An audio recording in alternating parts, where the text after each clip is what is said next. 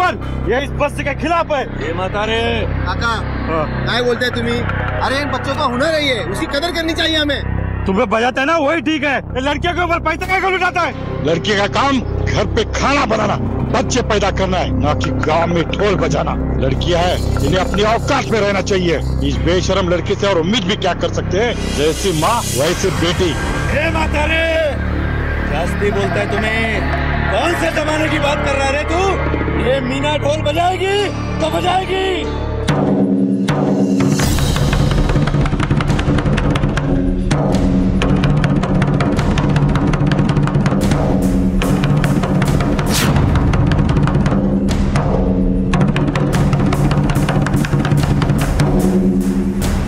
पंद्रह मिनिट ये ढोल गले में लटका कर घूम के दिखा। फिर बात कर। हिम्मत असेल ना तर ढोलला हात लावायचा। नाहीतर बांगड्या भरून घरात बसायचं, कळलं? कला तो हर कोई साफ़ ही होती है वो तो देखने वाले की नीयत में होती है बिना बजा!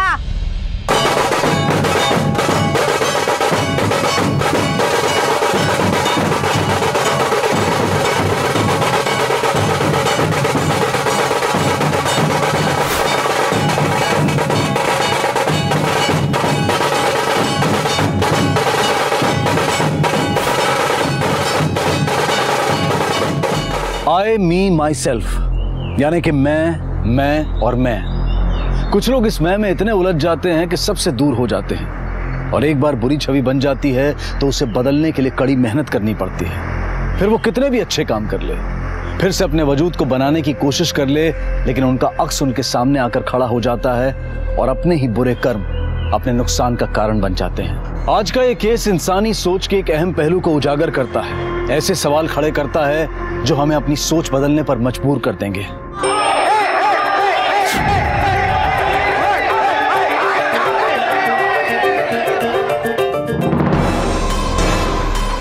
हे काय करतात? अरे ट्रॉफी कोई ऐसे फेंकता है? हमारे बेटे ने जीता है उसे। पता है मगर किसने? ड्रामा में। ये सब करने के लिए कॉलेज में भेजा क्या तुझे? बाबा। मत बोल मुझे बाबा। पढ़ाई पे ध्यान दे और ये सब नौटंकी वगैरह बंद कर डाल वरना तेरे सब खर्चे के पैसे बंद कर दूँगा मैं। पैसा पैसा पैसा। ज़िंदगी में सब कुछ पैसा ही होता है क्या? उन्होंने आज तक मेरे से प्यार नहीं किया। अब मैं उनसे पैसे कभी नहीं लूँगा।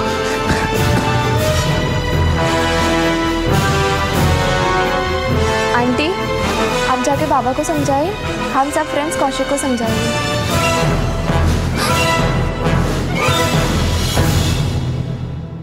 अंकल मुझे इंटर कॉलेज कंपटीशन में बेस्ट सपोर्टिंग एक्टर का अवार्ड मिला है। अरे वाह ये तो बहुत अच्छी खबर है। लेकिन तुम इतने उदास क्यों लग रहे हो? वो बाबा कॉलेज आए थे। सबके सामने तमाशा करके चले गए। पैसों का रोब दिखा रहे थे। अब तो मैं कसम खा रहा हूँ मैं उनसे कभी भी पैसा नहीं लूँगा। अंकल मुझे काम करना है। मैं अपने पैरों पे खड़ा होना चाहता हूँ।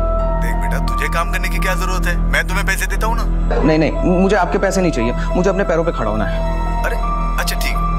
तुम्हारे लिए अच्छा सा जॉब देखता हूँ। तू परेशान मत हो, तुम्हारा काम हो जाएगा। और आज रात को मैं तुमसे मिलने भी आऊँगा। है ना? ठीक है?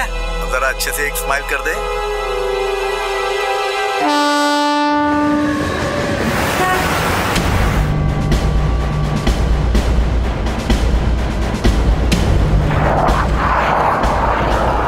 साहेब, मी फ़ोन केलं होतं। एक पुराची लाच पडलेली आहे साहेब। हटो रे साइड हटो साइड हो जाओ। साइड हो जाओ साइड साइड चलो। साइड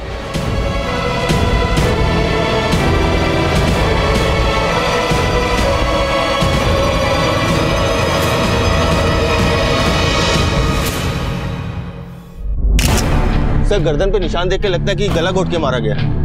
आसपास मिठाइयाँ पड़ी है। मतलब कोई खुशी का माहौल होगा। फिर ये मर्डर क्यों? शिंदे मिठाइयाँ फॉरेंसिक के लिए भेज दो। हो सकता है इसमें जहर या बेहोशी की दवाइयाँ मिलाई गई हो।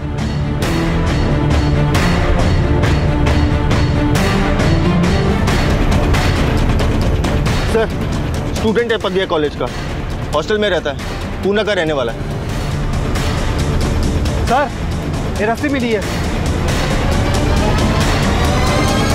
हो सकता है इस रस्सी का इस्तेमाल मर्डर के लिए किया गया हो। बॉडी को पोस्टमार्टम के लिए भेज दो। इसके घर वालों को इन्फॉर्म करो और हॉस्टल में जाके इसकी पूछताछ करो। Okay sir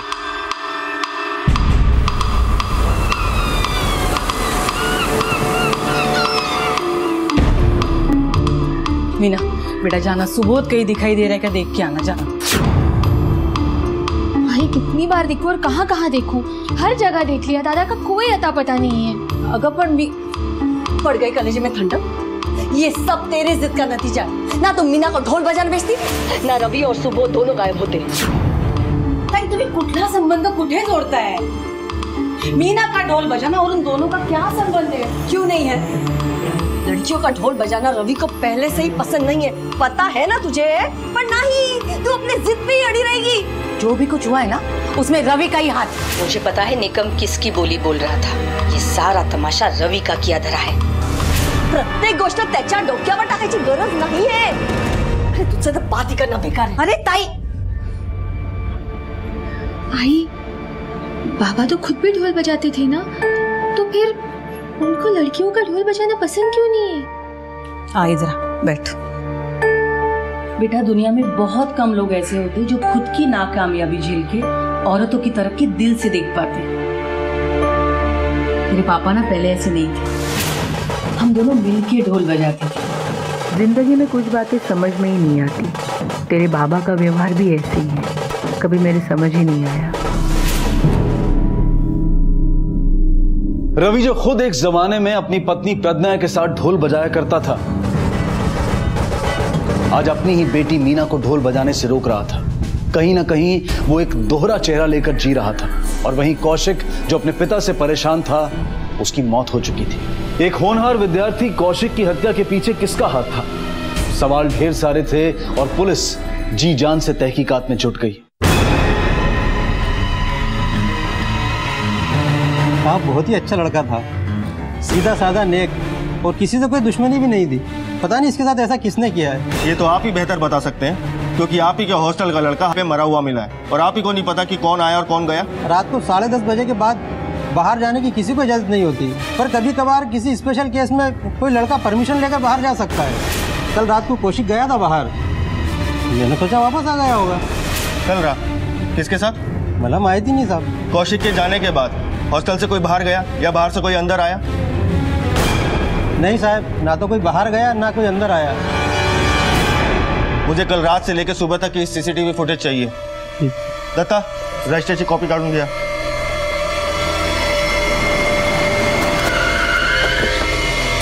Kaushik bright student था।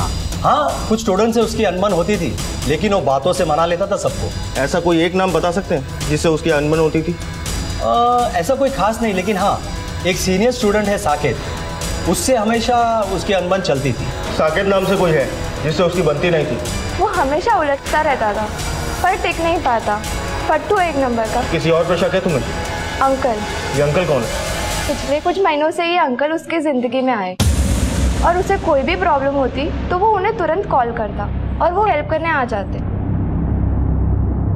इस अंकल का कोई नाम पता मालूम? है नहीं कौशिक के पास भी उसका नंबर ही था। ठीक है आप जा सकती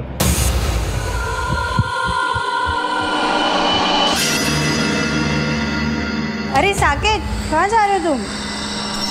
ए, तू साकित है? रुक रुक रुक।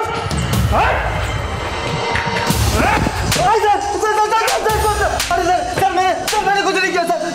तो भाग क्यों रहा था? सर वो प्रोफेसर सर ने आपको मेरे बारे में उल्टा सीधा बोल दिया था इसलिए मैं डर गया था सर। डर गया था या डरने का नाटक कर रहा था? कौशिक के साथ दुश्मनी थी ना तेरी पुरानी? सच सच बोल दे वरना इतना मारूँगा ना कि तोते की तरह बोलने लगेगा। सर मैं सच सच बोल रहा हूँ मैंने कुछ नहीं किया सर। हाँ ये है कि मैं कौशिक से लड़ता था। सब दोस्ती यारी में तो ऐसा चलता है ना सर। कल रात कहा था तू? सर मैं हॉस्टल में ही था। मेरे दोस्त से पूछ लो। हाँ सर कल ये हमारे साथ ही था रात को।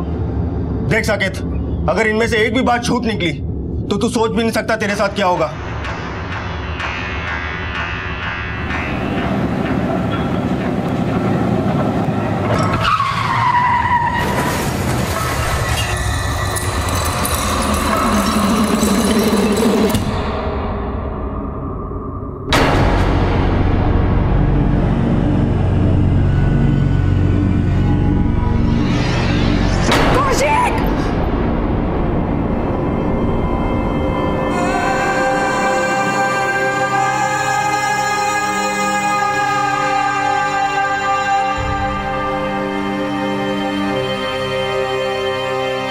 आपकी और कौशिक की नहीं बनती थी। कल आप उसके कॉलेज गए थे, जहाँ आप दोनों के बीच झगड़ा हुआ।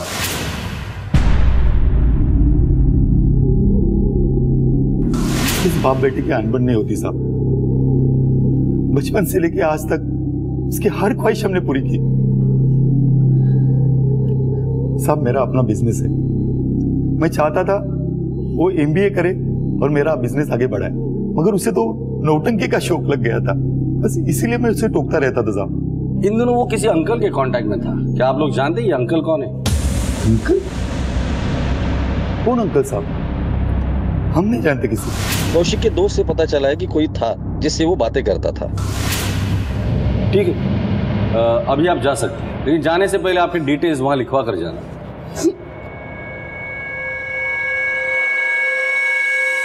इनके डिटेल्स क्रॉस वेरीफाई कर लेना। और ये अंकल कौन है उसका पता करो। ओके सर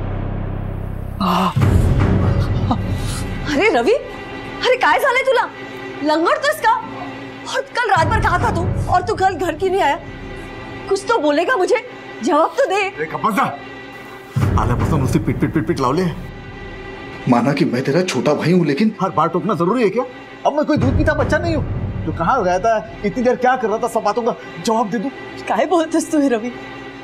मैंने अपनी पूरी ज़िंदगी तेरे लिए दाव पे लगा दी। बचपन से तुझे पाला पोसा खुद के बारे में कभी सोचा नहीं मैंने। सिर्फ़ तेरे बारे में सोचा बात डाला बात डाला। तूने जो कुछ भी किया ना मेरे बारे में उसका ढिंडोरा पीट चुके पूरे गाँव में। अब ये नाटक बंद कर दे। देख पहले मैं बहुत परेशान हूँ। और एहसानों का बोझ मेरे सर पर डाल के और परेशान मत करो मुझे। और तूने कुछ नहीं किया मेरे लिए। बिना शादी के मेरे सर पर बैठ गई हूँ यहाँ पर। बाबा की दुकान पर भी नागिन जैसे बनकर बैठ गई हूँ। अब ये घर बचा है। इसे भी हड़पना चाहती हो।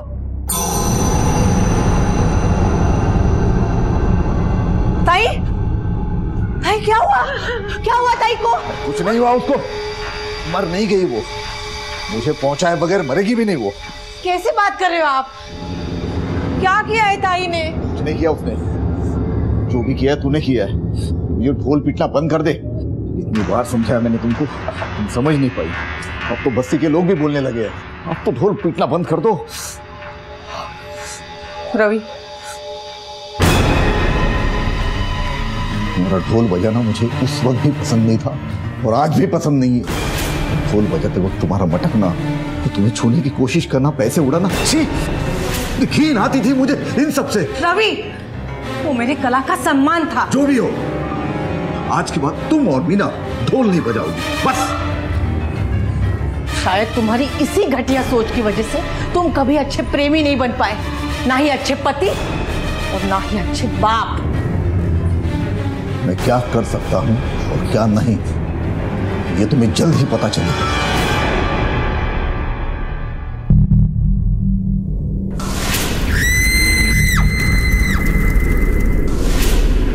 दादा दादा दादा संभालो अपने आप को। दादा आई आई भागना। सुबोध सुबोध। आई आई आई दादा। आई सर सर कौशिक के कॉल रिकॉर्ड्स आ गए हैं। मदन की काफ़ी कॉल्स हुई है लेकिन बात नहीं हुई। सुबह तो ये लोग झगड़े की बात कर रहे थे फिर अचानक इतने सारे कॉल्स ये मदन जब कौशिक को कॉल कर रहा था तब मदन की लोकेशन क्या थी ट्रैक करो। सर और उस अंकल का पता चल गया? सर इस अंकल के नंबर से इसकी डिटेल्स मिल गई है। महेंद्र में रहता है। रवि गाड़े नाम है। सत्रह साल पहले इसकी बीवी जल के मर गई थी। उसी सिलसिले में इसे अंदर भी किया था।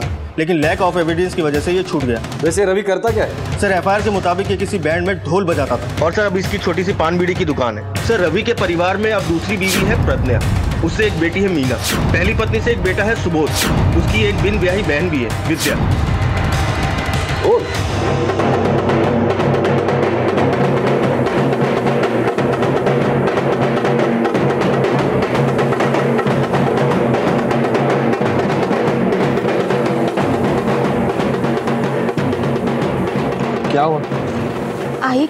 कि ये सब कुछ जो हुआ वो बाबा ने किया है। पर मुझे समझ नहीं आ रहा है बाबा ऐसा सब क्यों करेंगे? तेरे बाबा कुछ भी कर सकते दिमाग खराब है उनका। मेरा आत्या के भी हाल देख रही है ना तू? इस सुबोध का भी। सुन ना। मला खूप भीती वाटते अगर ऐसा ही चलता रहा तो बाबा कहीं हमारे रिश्ते को भी क्या? मंजूरी नहीं देंगे, यही ना? मुझे भी वैसा ही लगता है। और वैसे भी कुछ हुआ ना तो हम भाग के शादी करेंगे, बस? आणि जिकडे पण तुझा बाप आला ना तर तुला सोडणार नाही मी चला आता वाजव घे वाजवायला चला वाजव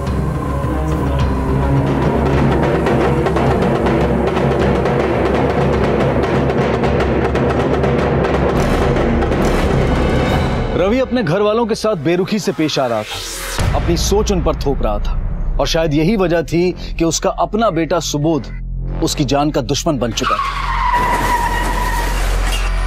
ऐसे इंसान के तार कौशिक के साथ जुड़े थे।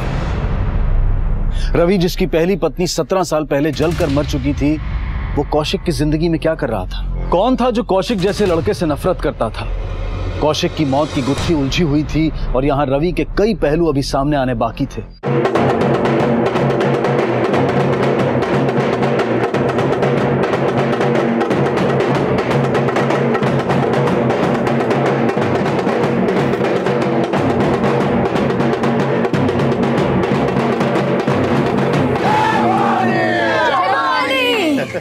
अरे आज तो ये मैंने मीना के लिए बोला है।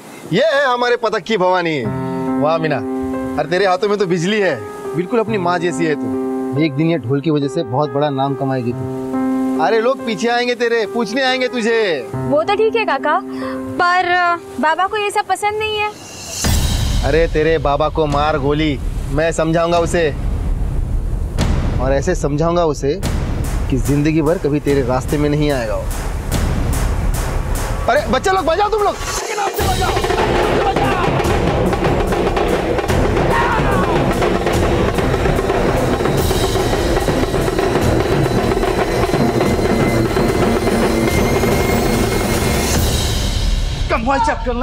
नुसतं गिळायला पाहिजे हा? तर ग- पीछे पीछे पीछे पीछे पीछे पीछे भागता है। अरे बाबा मैं प्यार है ये जान लेना चाहता है बाबा की। कितनी बार बोला दुकान पे बैठ। अरे इसकी बुआ दुकान खा जाएगी तब अकल आएगी इसकी। जासूसी करता है मेरी। जान लोगे क्या बच्चे की? जान भी लूं- जान से मार दूँगा सबको जान से मार दूँगा सबको जान से मार दूँगा सबको जान से मारेगा। जिस तरह कौशिक को मारा उस तरह सबको मारेगा तू।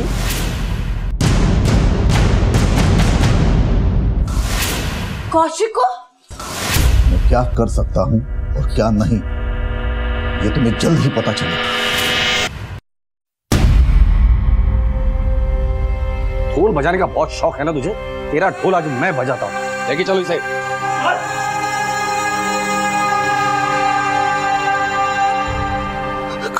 कौशिक मेरा बेटा ही था। मेरा और प्रज्ञा का बेटा था सब शादी से पहले हुई भूल थी वो। लेकिन हमारे प्यार की पहली निशानी थी साहब। मदन और मंजिली ने कौशिक को सातारा के एनजीओ से गोद लिया था। तो उसके बारे में पहले पहले मालूम नहीं था मुझे। और जब पता चला तो उससे दोस्ती की और उसे मार डाला। बड़ी लंबी प्लानिंग की तूने। ऐसे रवि को देखकर लगता नहीं था कि इतना बड़ा प्लानिंग करेगा। डायरेक्ट मर्डर इसकी बीवी के वक्त भी अपन को इस पे डाउट हुआ था। पर अब तो लगता है कि इस बेचारी राधिका को भी इसी ने मारा होगा मानो कि कौशिक तेरा बेटा था। लेकिन इतने सालों बाद प्यार कैसे उमड़ा है तेरा? साहब, जिस ढोल की वजह से हम करीब आए थे, उसी ढोल ने मुझे और प्रज्ञा को दूर कर दिया। ये ढोल बजाने का सीजनल धंधा साहब। कमाई ज़्यादा नहीं थी। मेरे बाबा नहीं चाहते थे कि लोगों के सामने नाचने वाली लड़की हमारे घर की बहू बने। और तात्या मेरा ससुर वो तो मुझे निकम्मा ही समझता था। तात्या ने मुझसे झूठ बोला कि प्रज्ञा की शादी कर दी और उसे गाँव भेज दिया। और तूने यहाँ शादी कर और पहले बीवी की मौत के बाद तूने प्रज्ञा से शादी कर लेकिन तेरे पहले बीवी के मौत का केस तो सत्रह साल पुराना है। कौशिक की उम्र लगभग तेईस साल होगी। फिर भी तू कहता है कि कौशिक प्रज्ञा का बेटा है। सब प्रज्ञा ने ये रात मुझसे छुपा के रखा था। ये मुझे पहले मालूम नहीं था। लेकिन जब प्रज्ञा की मौसी सारी का उसके घर आई थी तब कौशिक को मिले हो कि नहीं तुम? अब तो बहुत करीबी आ गया ना तुम्हारे। काय ग मावशी? क्या करूँ उससे मिलके? कुछ बातें ना पर्दे के पीछे ही अच्छी रहती है। मैं उसकी माँ हूँ ये भी नहीं बोल सकती मैं उसे। मुझे बता क्या फ़ायदा ऐसी बेमतलब मुलाकात का? अगं प्रज्ञा किती झालं तरी तो तुझा मुलगा आहे तुम्हारे और रवि के प्यार की पहली निशानी इसलिए पूछ रही हूँ मैं। एक बार जाके उसे मिल लो। हे सारिका कशाला डोकं खातेस तिचे इतनी साल ये बात छुपा के रखी है और रवि राक्षस से तो छुपे रहने दो ना। साहब ताते ने मुझसे झूठ बोला था साहब। असल में प्रज्ञा पेट से थी।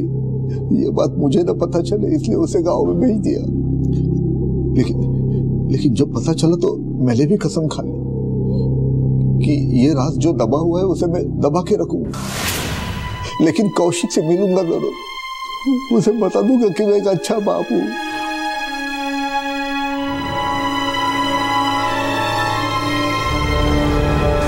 दुनिया को बता दूँगा कि मैं इतना बुरा भी नहीं हूँ जितना वो समझते हैं। हाँ यही भलाई दिखाई ना तूने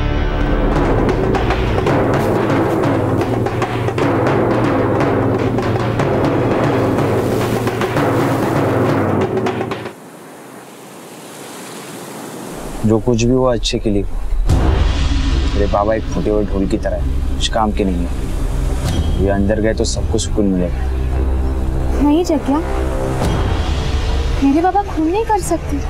देखो मुझे घुमा फिरा के बोलना नहीं पसंद है। सीधा बोलता हूँ। अच्छा हो गया हमारा रास्ता तो साफ़ हो गया। नहीं जग्या मेरे बाबा इतने भी बुरे नहीं मैं अपनी खुशी के लिए मेरे बाबा की ज़िंदगी का सौदा नहीं कर सकती।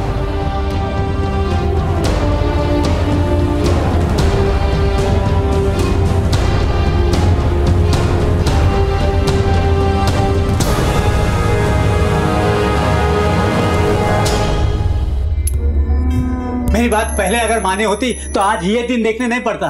उस रवि ने तुम्हारी ज़िंदगी खराब कर दी। उम्र क्या है तुम्हारी? सत्रह साल। नाबालिग हो तुम।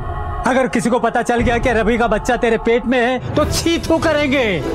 अब मेरी एक बात सुन यहाँ से सीधा सतारा जाना है। सारिका मौसी के यहाँ। समझी के नहीं?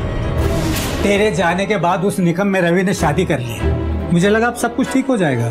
पर नहीं उसने अपनी बीवी को जलाकर मार डाला। तूने कौशिक के साथ दोस्ती की उसका विश्वास जीता और खिलवाड़ किया उसकी ज़िंदगी के साथ। कौशिक और उसके बाप के बीच दरार डालने में भी तो कामयाब हो गया। नहीं साहब। नहीं। उसके पापा से मुझे कोई लेना देना नहीं था। उसके बाद पैसा था नाम था लेकिन लेकिन वो कौशिक को समझ ही नहीं पाया था। कौशिक के मन में उसके लिए नफरत बढ़ गई और मेरा काम आसान हो गया साहब। वो बाबा आए थे। सबके सामने तमाशा करके चले गए। देख बेटा तुझे काम करने की क्या ज़रूरत है? मैं तुम्हें पैसे देता हूँ ना तू परेशान मत हो तुम्हारा काम हो जाएगा। मेरे और कौशिक के बीच में एक अटूट सा नाता जुड़ गया था साहब। आज मेरे पास गाड़ी है। बंगला है बैंक बैलेंस है। तुम्हारे पास। तुम्हारे पास क्या था? अरे अंकल आप बताओ ना। मेरे पास माँ है। ऐसा। मेरे पास माँ नहीं है। मेरे पास आप हो। मैं बहुत खुश था साहब। कौशिक को मिलने के बाद मेरी ज़िंदगी बदलने लगी थी। मैं चाहता था कि वो कुछ बने अपने दम पर बने। प्रज्ञा की आँखों में मेरे लिए भरोसा देखना चाहता था मैं? अगर तुझे अच्छा बाप बन के दिखाना था तो उसके लिए तेरे घर पर तेरे दो सगे बच्चे भी है। उन पर अपना प्यार चाहता था।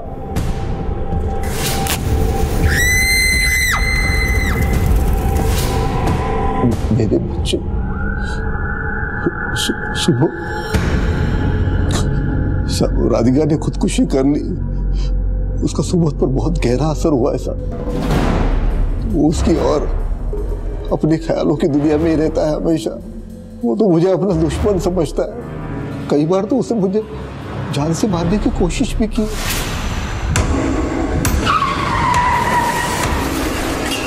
सुबोध के अलावा तुम्हारी एक बेटी भी है ना? लेकिन वो वो प्रज्ञा उसे कुछ बोलने नहीं देती साहब। तो ढाल बन के सामने आ जाती है। जैसे किसी वो उसकी माँ है और मैं मैं जल्लाद हूँ साहब यहाँ पर मुझे समझने वाला कोई नहीं है साहब। लेकिन जब कौशिक की बात सामने आई तो मुझे एक रोशनी की किरण नज़र आई थी। लेकिन मेरा मेरा कौ, कौशिक मैंने कौशिक को नहीं मारा। फ़िलहाल तो इसे जाने दो। कौशिक के कॉन्टैक्ट लिस्ट में जितने भी लोग हैं सबके डिटेल्स दिखा दो। ओके ढोल के दो सिरों की तरह एक तरफ़ रवि की इतनी बुराइयाँ हैं कि हर कोई उससे नफरत करता है।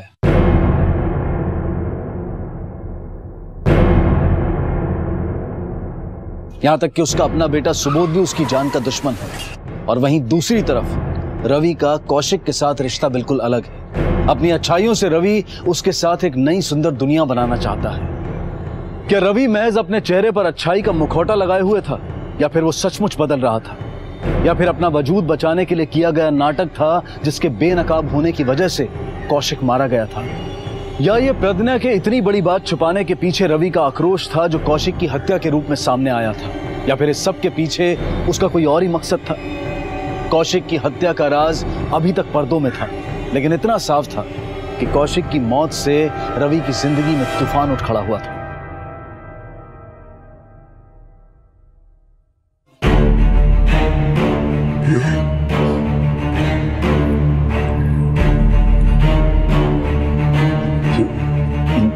मला सोडलं की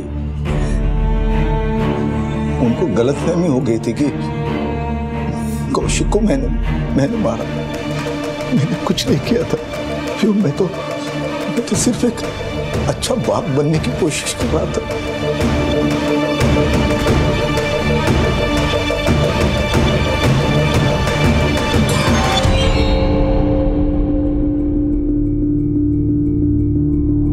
सर आपका शक सही निकला। मदन की लास्ट लोकेशन कौशिक के मर्डर वाली रात कौशिक के हॉस्टल के पास ही थी।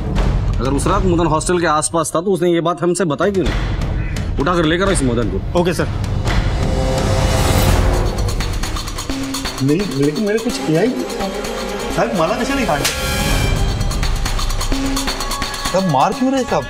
सुबह बेटे के साथ झगड़ा होता है। रात को दोबारा झगड़ा होता है। गुस्से में आकर अपने बेटे को मार देते हो और हमें ही पूछ रहे हो कि बेटे का खून किसने किया? क्या बोल रहे साहब? मैंने कुछ नहीं किया साहब सत्रह तारीख को बेटे के हॉस्टल में क्या करने गए? थे? हमारे पास कॉल रिकॉर्ड है। रात को 12 बजे से लेके एक बजे तक तुम हॉस्टल में थे। क्या कर रहे थे वहाँ पर? हाँ साहब हॉस्टल में गया था। झगड़े को लेकर मेरी बीवी ने जो समझाया था तब मैं कौशिक को मनाने के लिए वहाँ गया था। मगर वो मुझ पर नाराज़ था इसलिए वो आया नहीं और फ़ोन भी नहीं उठाया मेरा। ये बात पहले क्यों नहीं बताई हमें? सर अपने बेटी की लाश देखकर मैं बौखला गया था साहब। इसलिए मैं आपको बता नहीं पाया। पर साहब उस रात जब मैं बाहर कौशिक का इंतज़ार कर रहा था तब मैंने एक लड़के को हॉस्टल में जाते हुए देखा था। सर। इनमें से कोई लड़का है? नहीं सर। इन दोनों में से कोई? हाँ सर। यही था सर।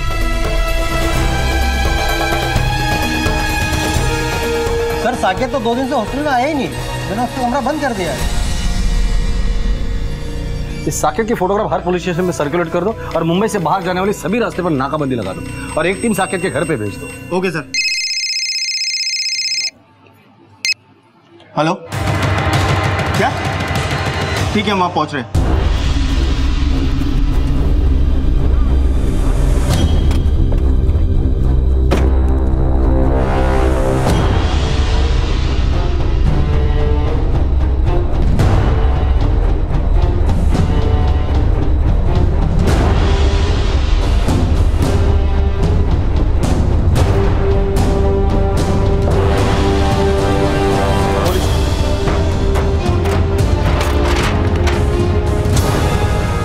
के बॉडी पार्ट आसपास देखो कुछ मिलता है क्या?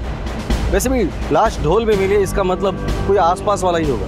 और रवि के दुश्मन भी कम नहीं थे। सर लाश को देख के लगता है पूरे जन्म का बदला लिया पहले इसके बेटे को मारा फिर इसे। सर इन दोनों के मर्डर में क्या कनेक्शन हो सकता है? कनेक्शन तो ज़रूर है। और जिस दिन ये कनेक्शन का पता चल जाएगा ये दोनों मर्डर केस सॉल्व हो जाएगा। साकेत का मोबाइल सर्विलेंस पे डाल। इस साकेत का मिलना बहुत ज़रूरी है। और ये रवि इसके घर वालों को इन्फॉर्म करो और रवि के मोबाइल की आखिरी लोकेशन क्या थी ये भी बता करो ओके सर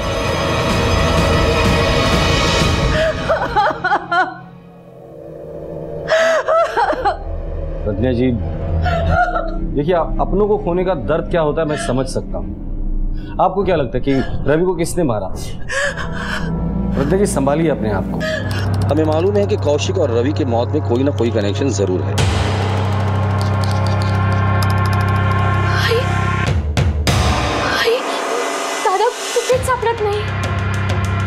ये आपके बेटे सुबोध के बारे में बात करेंगे ना? कहा है वो? कुछ पता नहीं। कल रात से घर नहीं आया है। बाप बेटे में झगड़ा हुआ था? नहीं झगड़ा नहीं हुआ था लेकिन दादा कोयती लेके पापा को मारने गए। मैं छोड़ूँगा। दादा काय काय करते हो इसे दादा सुबोध को जाना था अरे बेटा मैं आपको और और रोने नहीं दूँगा। नहीं नहीं नहीं दादा सुबोध मेरे पास। मतलब सुबोध ने रवि को मारा और कहीं छुप कर बैठा है वो? सुबोध ऐसा नहीं करना सुबोध नहीं कर सकता ऐसा कुछ भी साहब रवि को तो कोई भी मार सकता है. ये बात तो तय थी कि रवि ने कई दुश्मन बना रखे थे और वो हर एक के निशाने पर था। किसने दी रवि को ये दर्दनाक मौत? क्या कौशिक की मौत और रवि की मौत एक दूसरे से जुड़ी हुई थी? पहले बेटे और फिर पति की मौत से प्रज्ञा पर गम का पहाड़ टूट पड़ा था। इस ढोल को पहचानते हो? हाँ सर। ये जग्या का ढोल कहाँ मिलेगा ये जग्या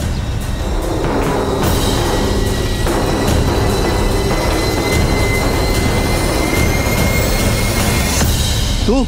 लेके चल इसे। सर चल सर चल लेके सर क्या हुआ सर? दे सर क्यों मारे हो सर? ये तेरा ही ढोल है ना? इसी में रवि की लाश के टुकड़े फेंके थे ना तूने?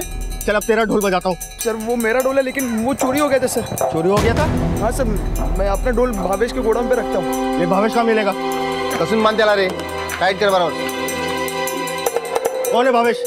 ये है। हाँ सर। ढोल का है इसका? चोरी हो गया साहब। क्या जगह पता है धनगुरु को मैंने कंप्लेंट की तूने पुलिस स्टेशन में? हाँ की थी। जगह का ढोल मेरा टेंपो भी चोरी हो गया साहब। लेकिन आप वो ढूँढने के बजाय हम ही को पूछ रहे हो साहब। क्योंकि इसके ढोल में रवि के लाश के टुकड़े मिले हैं। और जहाँ तक हम जानते हैं रवि से दोस्ती तो नहीं थी तुम्हारी। नहीं बताएगा या ससुराल चल के? क्या साहब हमने कुछ नहीं किया है। सच में चोरी हुई थी। चाहिए तो आप रिपोर्ट दे सकते हैं। अच्छा ये बता ये ढोल चुरा कौन सकता है? ये तो मैं नहीं बता सकता लेकिन हाँ मेरे गोदाम की एक चाबी ताते के पास थी। पर ताते तो बोला कि चाबी गुम हो गई। इससे ज़्यादा मैं नहीं जानता साहब। तात्या। ये आप लोग क्या बोल रहे हैं? मैं समझा नहीं कुछ। जग्या का ढोल और भावेश का टेंपो गायब है और ढोल के अंदर रवि की लाश मिली है और गोडाउन की चाबी तुम्हारे पास है। चाबी का मेरे पास होना मतलब मैं खूनी हूँ। चाबी तो पहले चोरी हो गई थी। चाबी ना सही पर प्रज्ञा के लिए खून तो कर ही सकते हो ना। क्यों तकलीफ़ थी तुम्हें रवि से इतनी? अरे साहब एक तकलीफ़ हो तो बताओ। वो बचपन से प्रज्ञा के पीछे लगा हुआ था। जब भी हम लोग ढोल की प्रैक्टिस करते थे रवि ढोल की आवाज़ सुनकर दौड़ा चला आता था। लेकिन इस कला के लिए नहीं प्रज्ञा के लिए आता था वो। और इसीलिए वो कला की कीमत समझा ही नहीं। लाश देखकर ये बात तो पता चलती है कि मारने वाला कोई नजदीकी है। तुम बता सकते हो कौन हो सकता है वो? कोई भी हो सकता है। कोई समझ ही नहीं पाया उसे। दिल का बुरा नहीं था वो साहब। सिर्फ़ ज़ुबान का कड़वा था। जिसने भी मारा है करीबी। आप तो उसकी करीबी थी ना। आपको पता है कि कौन कर सकता है? सुबोध जिसने अपनी माँ को जलकर मरते हुए देखा या फिर प्रज्ञा जिसने अपना बेटा खोया प्रज्ञा तो रवि के पीछे पागल थी। वो ऐसा कर ही नहीं सकती। सुबोध का क्या? वो तो गलत फहमी का शिकार है। सर रवि की लास्ट लोकेशन का पता चल गया है। रवि के कॉल रिकॉर्ड ने उसकी आखिरी लोकेशन तो हमें बता दी। लेकिन खुनी ने जगह देखो क्या चुनी है। चारों ओर सन्नाटा है। लेकिन सर एक बात समझ नहीं आई। खूनी ने लाश यहाँ फेंकने की बजाय इतनी दूर ले जाके क्यों फेंकी होगी? ये खूनी जो कोई भी है वो आसपास वाला है और बहुत ही शातिर है। उसने ये सब कुछ सिर्फ़ और सिर्फ़ हमें उलझाने के लिए किया। सर साकिब मिल गया।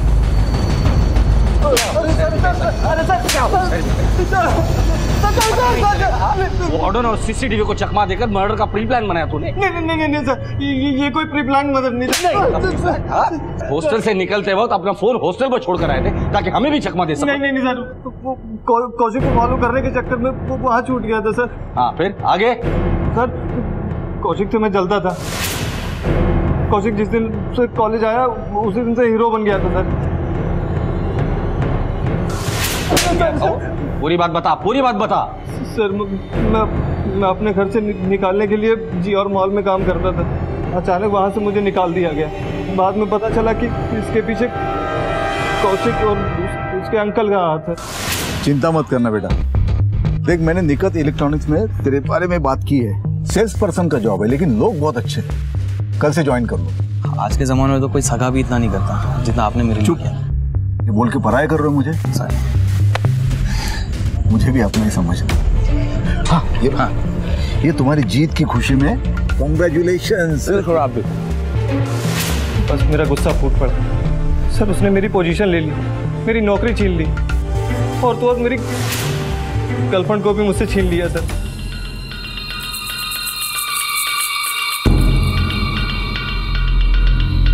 सर मैंने सोच लिया था कि इस कौशिक का क्या करना है। उस दिन उस अंकल के मिठाई दे के जाने के बाद मैंने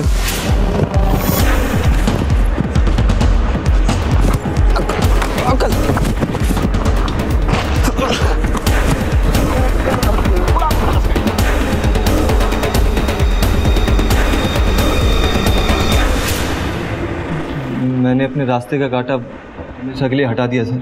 वो अंकल मतलब कौशिक के बाप को क्यों मारा? नहीं नहीं सर मैंने उनको नहीं मारा सर। नहीं मारा? नहीं मारा सर मैंने उनको। सच बता। मैं सच बोल रहा हूँ सर मैंने उनको नहीं मारा सर। सर एक खून तो मैं कर चुका हूँ। उसकी सजा अगर मौत है तो दूसरा खून कबूल करने में मुझे क्या प्रॉब्लम है? मैं कौशिक से अपना बदला लेना चाहता था बस। तुम्हारी पोजीशन चली गई तुम्हारी गर्लफ्रेंड चली गई। इसलिए मर्डर जैसा संगीन जुर्म किया तुमने। कभी अपने माँ बाप के बारे में सोचा है? अपने दिल पर पत्थर रखकर तुम्हें इतने दूर हॉस्टल में पढ़ाई के लिए भेजते हैं वो लोग। तुमने ना सिर्फ़ उनका भरोसा तोड़ा है बल्कि अपने साथ साथ उनकी भी ज़िंदगी बर्बाद की है।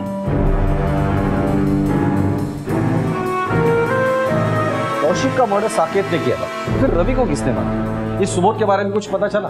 सर हमने खबरियों को उसके पीछे लगाया हुआ है। आखिरकार कौशिक की मौत की गुत्थी सुलझ गई। लेकिन तहकीकात में जुटी पुलिस के सामने अब भी यह सवाल खड़ा था कि आखिर रवि को किसने मारा? किसकी नफरत ने उसे ऐसी खतरनाक मौत दी? पुलिस को शक था कि हो ना हो ये किसी करीबी इंसान का काम है। और इसलिए पुलिस ने हर करीबी इंसान को बारीकी से टटोलना शुरू कर दिया। छोड़।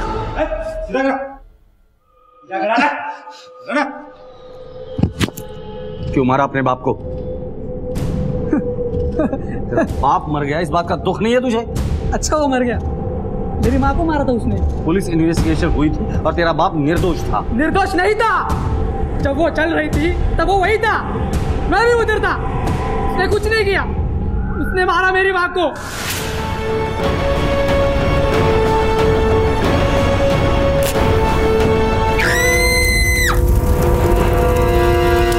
मार डाला। मेरी आई को मार डाला। अब वो अब वो मीना को भी नहीं छोड़ेगा। वो किसी को नहीं छोड़ता। वो आपको भी नहीं छोड़ेगा। सर सुबोध की हालत देखकर लगता नहीं है कि उसने ये मर्डर किए होंगे। वो भी इतने भयानक तरीके से। टुकड़े टुकड़े करके। अगर इसने मर्डर किया भी होगा तो भी लाश को ढोल में भरकर इतने दूर तक लाना इसके बस की बात नहीं। रवि के जितने भी दुश्मन थे। भाविन जया तात्या विद्या प्रज्ञा। इनमें से किसी की भी मोबाइल लोकेशन मर्डर जहाँ हुआ था वहाँ आसपास थी क्या पता करो। एक एक को कूटो और मुझे सारी इन्फॉर्मेशन चाहिए। ओके सर उस टेंपो का पता चल गया? नहीं सर अभी तक नहीं लेकिन तलाश जा रही है। ठीक है।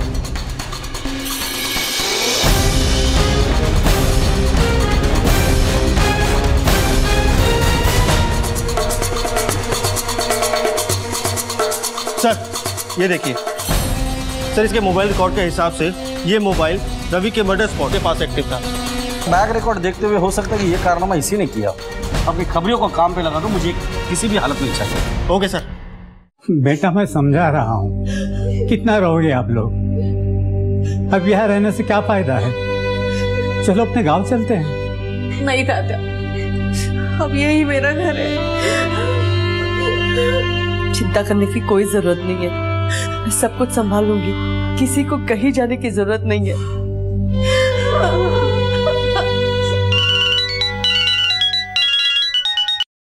हाँ बोला। सर उसका अड्डा मिल गया है। ठीक है हम पहुँच।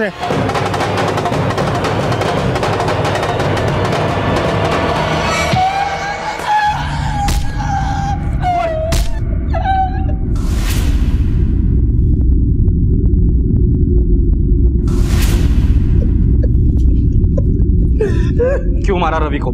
बोल क्यों मारा रवि को? साहब विद्या अपन को फ़ोन किए थे। वो बहुत घबराएली थी। विद्या ने तुम्हें फ़ोन क्यों किया था? सुबोध घर से निकला था अपने बाप को मारने के लिए। मैं और विद्या तो सुबोध के पीछे गए थे। उधरी से रवि रो रहा था। और सुबोध जब उसको मारने के लिए उसके पीछे गया तो रवि एकदम पलट गया।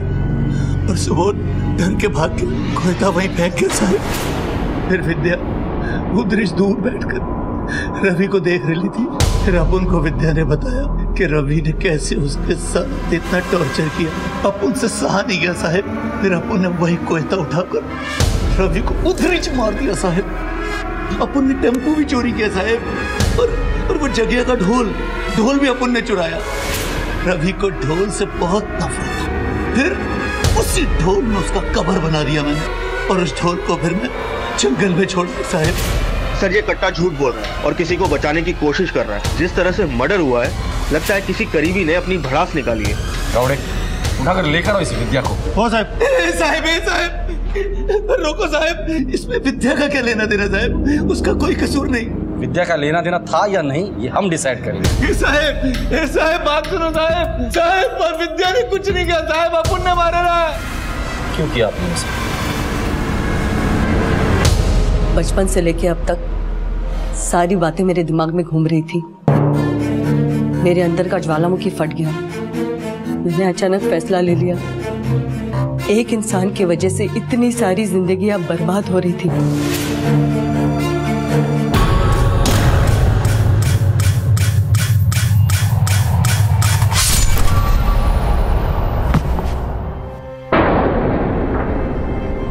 पहले मेरे बाप को खा गया, मेरे घर संसार को बसने नहीं दिया, राधिका को मौत के घाट उतार दिया, प्रज्ञा की ज़िंदगी बर्बाद कर दी, सुबोध की ज़िंदगी तो मौत से भी बदतर कर दी इसने, मीना की खुशियाँ निकल गया, अरे ताते को तो ज़िंदा ही मार दिया उसने, कौशिक को भी खा गया, अरे तू तो ज़िंदा रहने के लायक ही नहीं है।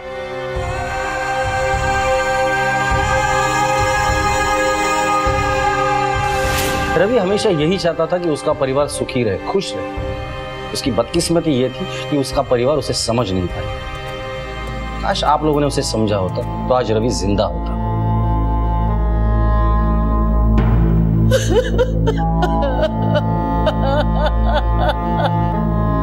रिश्तों में जब मैं घुलता है तो जन्म लेती है नफरत। रवि ने ज़िंदगी भर किसी से बेहतर रिश्ते बनाए ही नहीं, और जब बनाने चाहे तो शायद तब तक बहुत देर हो चुकी थी। विद्या के दिल में रवि के लिए पनपती नफरत ने ज्वालामुखी का रूप ले लिया था और एक बहन के हाथों भाई की हत्या की शक्ल में सामने आया। रवि अगर अपनी इस मैं से बाहर निकलता और प्रज्ञा, विद्या, मीना और सुबोध के साथ रिश्ते बेहतर बनाता तो शायद रवि की ज़िंदगी कुछ और ही होती।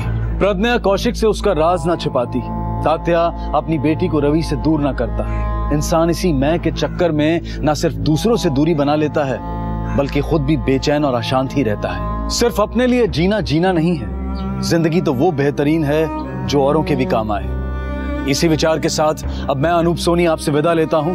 फिर मुलाकात होगी अगले एपिसोड में एक और चौंका देने वाले केस के साथ।